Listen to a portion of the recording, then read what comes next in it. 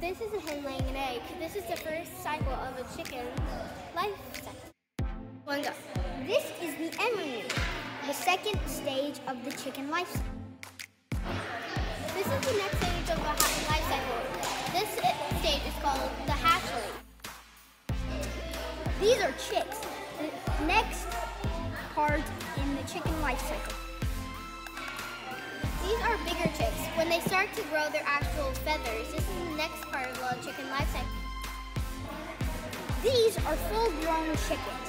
This is the last part of the chicken life cycle. And then the life cycle starts again.